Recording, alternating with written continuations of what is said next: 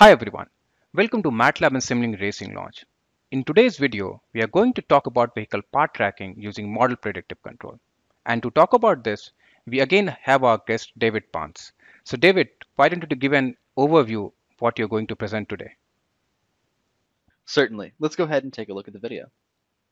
So we have this car that's driving around in our Unreal environment, being controlled laterally and longitudinally as it comes around the curves going back towards the right originally and then back towards the left as it's following the road. That's great, David. I think we are talking about the implementation of model predictive control for this path tracking application. And just to mention that we are not going in depth uh, for the understanding of model predictive control.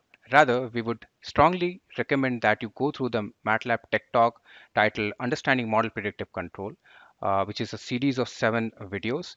And you'll get an understanding why MPC, what is MPC, and even uh, the topic or the series also covers regarding tuning of design parameters needed for model predictive control. And to find the link for this series, you can check the video description. And with this, over to you, David. We can now start with the agenda for the video. Certainly. So today we've talked a little bit about an introduction to MPC, but we'll talk a little bit further into how is it working in terms of our model, and then we'll actually get to look at the implementation, um, going through looking at how we're generating waypoints, building the models in Simulink, and then visualizing the vehicle motion again. And then we'll wrap up with some of the key takeaways. An MPC controller is a really unique controller insofar as that it's an optimization-based problem, which means that this is getting solved at every time step of the simulation.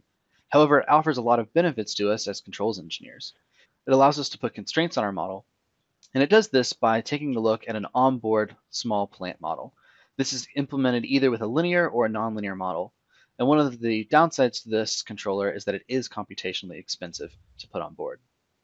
Yeah, and, and uh, just to mention, David, um, MPC also tackles the, the multiple input and multiple output systems very well. So yeah, let's let's move to the implementation part. The example that we're going to walk through with you today we're going to start with some waypoints that we've generated using Driving Scenario Designer. Then we're going to take those and use them to create and condition the inputs for our controller, as well as load in any vehicle data that's needed for our vehicle and controller to be implemented in Simulink. And finally, we'll get to visualize how our vehicle is performing in bird's eye scope, 2D, and 3D environments. So let's get started with MATLAB. We're going to get started by taking a look at this live script to walk through a simple example of our using our controller in a figure eight course. One of the first things we're going to do is we're going to add some images to the path so that we can use those in our model. We're also then going to define the reference points of this figure eight circle as it's going to go around each side twice. Then we're going to load in some of the vehicle parameters that's used in the models. And then we're going to condition all of our inputs that we're going to need to be able to run this figure eight course. Next, we're going to condition all of our inputs for us to be prepared for the figure eight course. As we mentioned earlier, the MPC uses a linear model or a nonlinear model when actually doing the optimization on a step-by-step -step basis. In this case, we have the equations from the documentation to calculate ABC matrices that can be used for this. Uh, all that we're doing here is creating this linear time invariant system that you've seen in state space equations. Next, we'll then create this MPC pedal map, which will be used to condition some of our inputs. We'll talk about this a little bit more when we go through the Simulink model itself, but the important thing here is that it's going to be based on the balances of forces based off of simple vehicle dynamics models. So, I mean, uh, uh, what it means, David, is that we already have all the required data in the workspace, and now we are heading towards a Simulink model where we are using all these initial data. Yes, okay. exactly. Let's go ahead and get it opened up. Some of you may already have a Simulink-based vehicle model. In this case, we're going to show you how we have this model set up where we have our vehicle, powertrain, and driveline model set up so that it accepts pedal commands and then outputs the forces that are applied to our vehicle body. In this case, we're going to simulate that body using the 3 degree of freedom dual track model. Let's take a look at this vehicle model. In this subsystem, we've modeled a simple motor and differential as well as a braking system so that we can then accurately calculate our forces that are applied to our vehicle body through the tires. So David, can you get into that brakes and wheels subsystem? Certainly. And here it is worth mentioning that the tire, what you see over here, that has been taken from Vehicle Dynamics Blockset. Okay, so let's yes. let's go back and explore the model. Now that we have our vehicle model, we can take a look at our inputs and outputs. The outputs that we're going to use for our controller are the steering angle that we're going to apply to the front wheels, as well as the accelerator and decelerator pedal commands.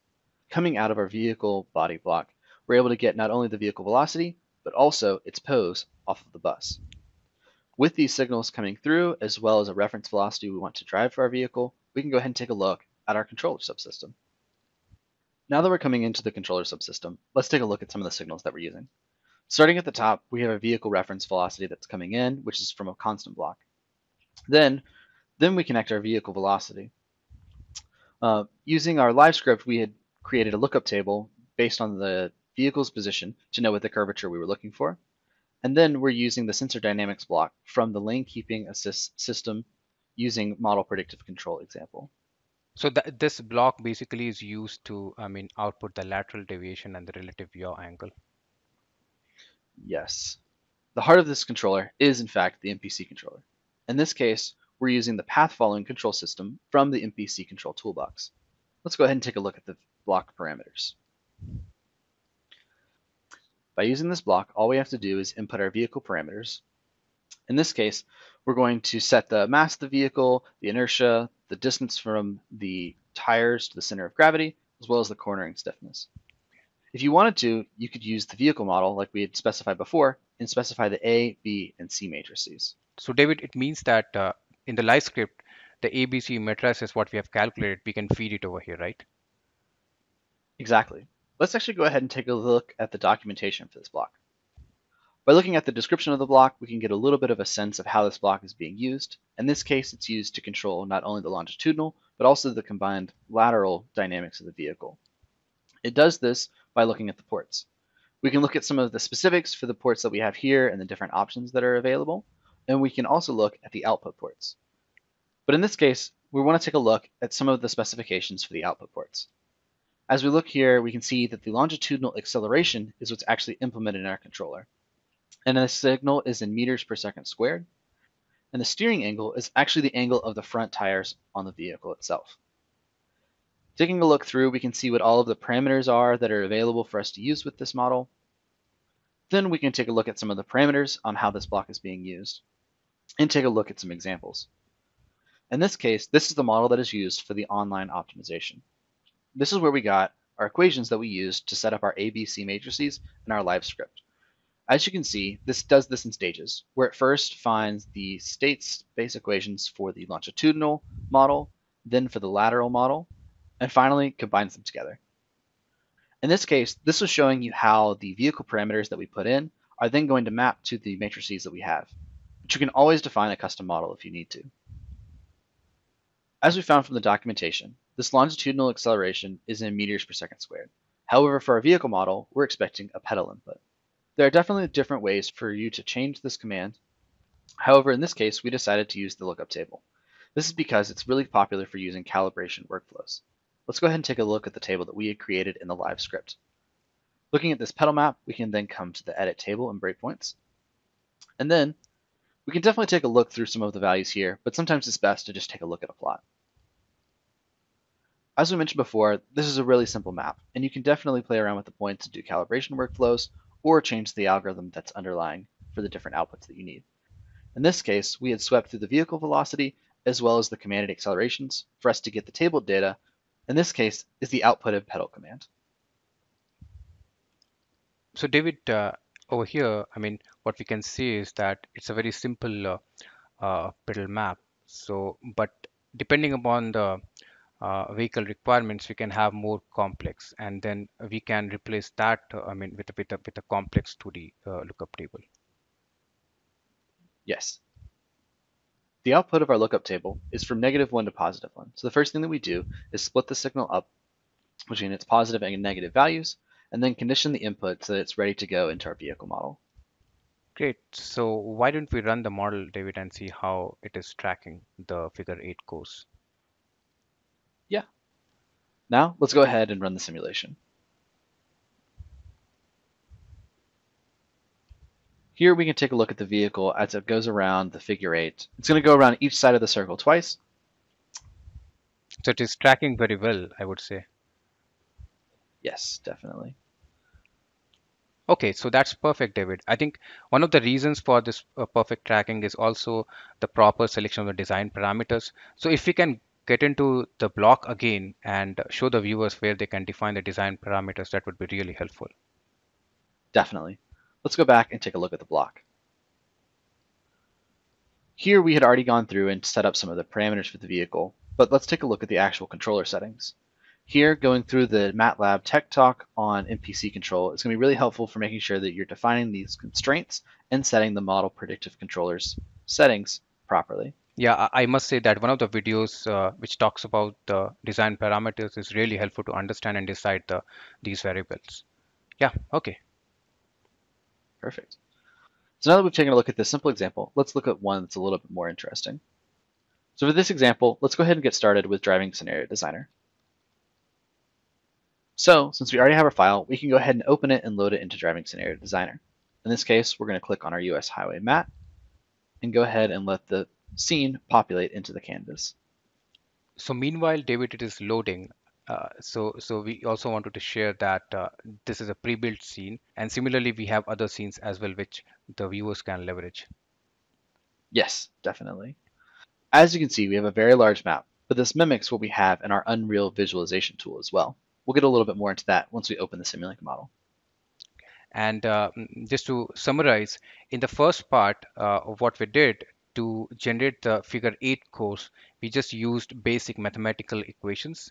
And in over here, we are leveraging the driving scenario designer to generate the waypoints using a, a pre-built scene. Yes, that's correct. Let's go ahead and take a look at our live script. From here, we're going to have a very similar setup that we had previously, where we set up the images that we're going to use. And instead of generating those waypoints, like you said before, we're going to read those in from a map file, defining our reference points, then taking a look at some of our vehicle parameters, and then calculating all of the necessary inputs for our controller once again. So as you can see, we add our images to the path, then we load in the scene file as well as grab some of the data from that map file that's there, and defining those reference positions, taking in our vehicle parameters for the model, and then calculating all of our necessary inputs. And the rest of this live script is identical to the one we had before, so we'll go ahead and run through that now. Let's go ahead and take a look at the model. This model is almost identical to the one that we had before, where our controller and vehicle model remain unchanged, but instead of doing a constant vehicle velocity that we're trying to follow, we're instead doing this through a velocity distribution lookup table. And finally, we added another area for our visualization, where we have again our 2D plotter. We've also added in our visualization using Unreal. This is set up using the 3D scene configuration block. As we mentioned, there are a lot of different options that you have for default scenes. In this case, we're using the US highway. There are a lot of options that you can choose from. However, because this matches the scene that we're using, we're going to go ahead and use the US highway. So let's go ahead and simulate this model. With the model up and running, we're able to watch the visualization of this vehicle, both in the 2D version as well as in Unreal in a 3D environment. In this case, we're able to watch as the vehicle controls itself both laterally and keeping the specified velocity. Yeah, that that's great, uh, David, because uh, also to mention that it, because of these two blocks, the simulation 3D vehicle with ground following and simulation 3D scene configuration, it's very easy to set up uh, this whole Simulink model with Unreal. So going ahead with that, uh, uh, so do we have a possibility to create a custom scene and uh, a custom vehicle uh, to run with the Simulink model? Yeah, using Simulink, you can actually connect into Unreal using custom environments that you can set up as custom executables or running this uh, through the Unreal Engine itself as well as putting in custom actors such as vehicles or doing other systems if you wanted to as well. Yeah, and and I think uh, what we have done is uh, to get uh, to get a more proper understanding of the workflow of custom scene and custom vehicle, we have provided the documentation link in the video description. So David, can you also share the examples uh, for model predictive control for automated driving applications? Yeah, definitely. Going in, all we have to do is just type in demos into the command window to pull up some of the documentation that's there. This is a great place for you to find examples for all of our different toolbox. But in this case, let's take a look at some of those for model predictive control. Looking here, you can see that there's some in different industries and things, but we can also take a look at those that are specifically for automated driving. One of these 17 examples might be able to help you in your next application. Oh, great. I mean, there are plenty of examples over here. Exactly. So thanks, David, for demonstrating these two uh, models. And uh, if you're interested to explore this, uh, we have provided the link to the GitHub repository. You can download the models from there. Now let's check out the key takeaways. In this example, we walked you through how to set up your reference signals, generate pedal maps, as well as creating the state space model for your MPC controller. We also talked a little bit about selecting the right parameters and how it's important for MPC controllers, and how the MATLAB Tech Talks can help you as you're getting started with this new algorithm. And of course, MATLAB and Simulink providing various algorithms for generating your waypoints, integrating your vehicle model as well as your controller, and visualizing your system in Unreal or other various environments. Okay, uh, that summarizes all the important points, David. If you want to get in touch with us, if you have any queries, you can reach out to us at racinglounge at mathworks.com. So with this, uh, we come at the end of the video. And thanks, David, for showcasing how to implement MPC controller for vehicle path tracking applications. So yeah, thank you. Thanks for having me.